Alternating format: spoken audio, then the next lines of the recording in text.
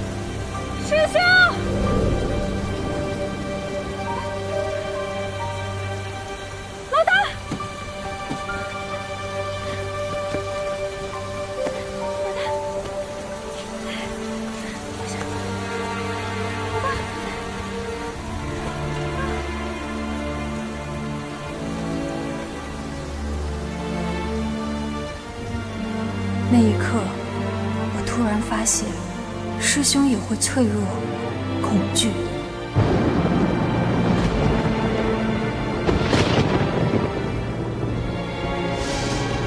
案件到了生死攸关的时刻，我不能再做一个躲在师兄身后的小女孩了。